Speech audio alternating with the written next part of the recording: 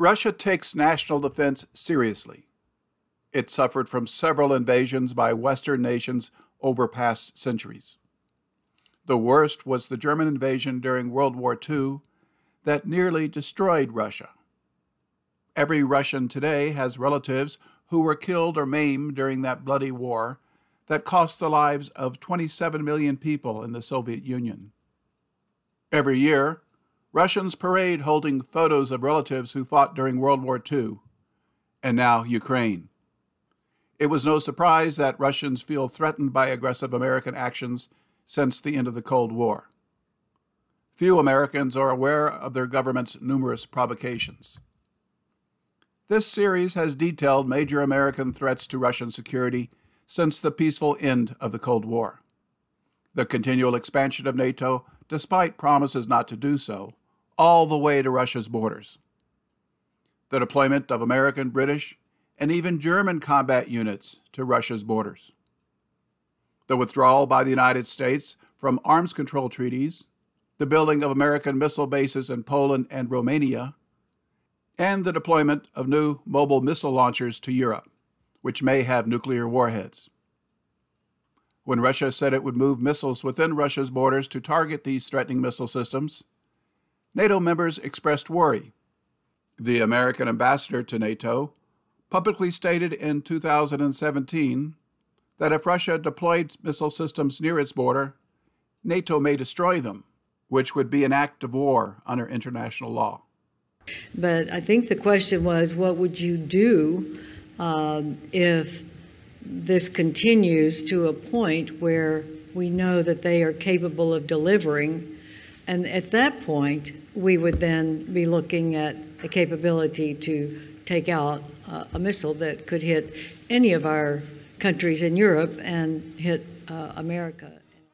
Russia re annexed Ukraine's Republic of Crimea in 2014 after its parliament voted to rejoin in a referendum where 97% of its citizens agreed. Crimea was part of Russia for centuries, has Russian military bases, is mostly ethnic Russian, and the official language is Russian. Despite the choice of Crimeans, Ukraine's new American appointed government promised to retake Crimea by force and dam the North Crimean Canal. This was built in the 1960s and provided Crimea with 85% of its water needs. Cutting off this water destroyed Crimea's agricultural industry, while the Russians rushed to build a reservoir to alleviate the problem. This didn't hurt Russian leaders, but the people of Crimea. It wasn't illegal for Ukraine to block this canal, but stopping the flow of fresh water downstream has sparked wars. Russian President Vladimir Putin had refused annexation requests from the mostly ethnic Russian republics of eastern Ukraine in 2014. Reopening this canal was another incentive for Russia to invade this area in 2022. The earthen dam blocking this canal was removed three days later, and the water flow restored. Russia was concerned that the United States openly ignored international agreements and restarted bioweapons research in 2001. This was authorized by the Patriot Act that was rushed through Congress to quietly reverse a ban implemented in 1971. The American CIA began funding biolabs in Ukraine in 2015 that were exposed by employees and local media. Hard evidence surfaced in a Freedom of Information Act request to the Defense Threat Reduction Agency that produced official U.S. government documents that showed 2018 funding for an anthrax laboratory in Ukraine.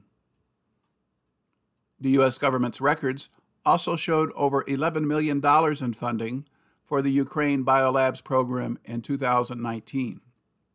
See the link in the description for details.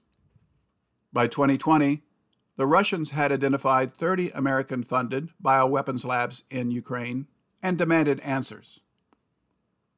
The Biden administration claimed they were for basic research and pose no danger.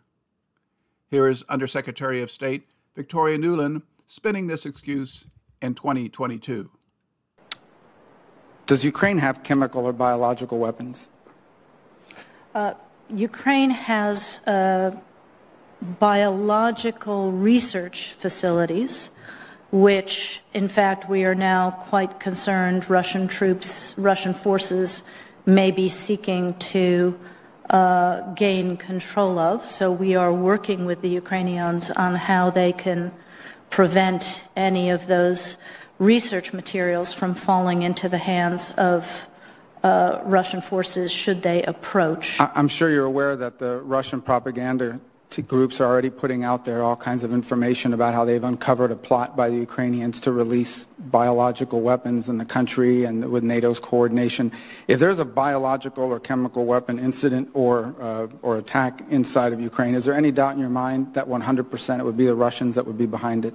There is no doubt in my mind, Senator, and it is classic Russian uh, technique to blame on the other guy what they're planning to do themselves. This topic was ignored by American media, although Jimmy Dore provided a good overview. See his video linked in the description. Why didn't the United States fund dangerous research in scientifically advanced nations like France, Japan, or Switzerland? Why build them in unstable, corrupt, and backward Ukraine? In 2023, Robert F. Kennedy Jr. was interviewed by Tucker Carlson. You can watch his interesting interview linked in the description, where he discusses the war in Ukraine. As a famous environmental lawyer, he studied the pharmaceutical industry for decades and explained why the United States funds secret labs near Russia's borders, bluntly stating we have biolabs in Ukraine because we are developing bioweapons. A major reason the United States wanted to absorb Ukraine into NATO was to establish bases in Crimea to control the Black Sea, which the Russians dominate from their military bases there. Without that option, the United States began building a NATO operations center at Ukraine's Ochakiv naval base on the Black Sea. U.S. Navy Seabees are shown here building that base in 2017. The same year, NATO began major annual naval exercises in Ukraine called Sea Breeze. The American funded effort also included upgrading existing ship piers, adding a new floating dock, security fencing around the base, and enhancing ship repair facilities. In 2019, NATO Secretary General Jens Stoltenberg bragged about NATO's stronger presence in the Black Sea. And we discussed what more we can do uh, to enhance our security in the Black Sea region. We agreed a package of measures to improve our situation awareness and to step up our support for both Georgia and Ukraine. In areas such as uh, training of maritime forces and coast guards, port uh, visits uh, and exercises, and sharing information. This will build uh, on our already uh, close uh, cooperation. Right now, one of NATO's naval groups is on patrol in the Black Sea. And today it is exercising with Ukrainian and Georgian ships. Uh, so we will maintain our focus and our presence in this vital region. In 2019, Volodymyr Zelensky was elected president of Ukraine with 73% of the vote that included strong support from ethnic Russians. He was a native Russian speaker who supported the rights of Ukrainian minorities and promised to peacefully end the fighting with Russian rebels. A 2015 peace agreement called the Minsk Accords had never been implemented by Ukraine. President Zelensky soon traveled to Paris for a peace conference with the leaders of Germany, France, and Russia, pictured here. On October 1, 2019, they all signed a peace agreement called the Steinmeier Formula that called for elections in Donbass, recognition of their autonomy, and the withdrawal of the Ukrainian army from those two republics. This peace attempt by President Zelensky was supported by a large majority of Ukrainians, yet is little known in the West. This British BBC report from 2019 explained the details. The Minsk Protocol was an international attempt to end the Donbass war. ceasefire agreements were signed and fighting de escalated. But the conflict goes on, with ceasefire violations and casualties reported on both sides on an almost daily basis.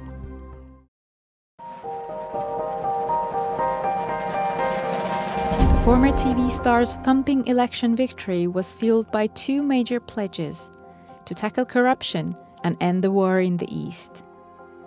This second pledge is behind his decision to back the Steinmeier formula ahead of planned meetings with world powers and President Putin. Formula Steinmeier.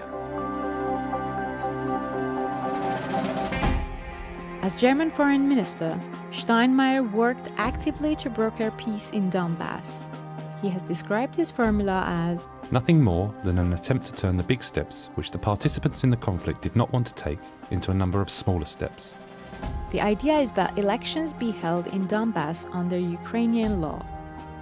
On election day, special status legislation will be applied to the area, which will be upheld if the international security body, the OSCE, says the poll was free and fair. But it's the nature of this special status that is controversial, as there are major differences over how it will actually look. For instance, Ukraine says it should first regain control over its eastern border to prevent what they say is the movement of troops and weapons from Russia. With his party in control of parliament, Zelensky should have no problem getting his proposals through. But there is considerable discomfort in Ukraine over what could be seen as capitulation to Moscow. His predecessor, Petro Poroshenko, has called it Putin's formula. It's a formula Putin. On the 6th of October, around 20,000 people protested in Kiev against the implementation of the Steinmeier formula. Other Ukrainian cities joined the Stop Capitulation campaign. Despite Zelensky's defense of the plan, many are not happy and protests continue. Despite his massive election win, along with his party controlling Ukraine's parliament, Zelensky never implemented this agreement. The United States openly opposed it, while the CIA secretly encouraged and funded street protests. Far right leaders openly said Zelensky would be killed if he attempted to cede any part of Ukraine. The Western media pretended that most Ukrainians opposed peace, while the American controlled Ukrainian army increased firing weapons into Donbass cities held by Russian rebels. Russia never wanted to rule Ukraine, which is why it allowed it to become independent in 1991 after it signed the Belovezha Accords. In Article 3, it states, quote, the parties, desirous of facilitating the expression, preservation, and development of distinctive ethnic, cultural, linguistic, and religious characteristics of the national minorities resident in their territories, and the unique ethno-cultural regions that have come into being will extend protection to them. After the 2014 American coup in Ukraine, a new regime was installed who openly violated this treaty by persecuting ethnic Russians and banning use of their language. All that Vladimir Putin desired was the withdrawal of the Ukrainian army from the two Russian majority Donbass republics and allow them autonomy.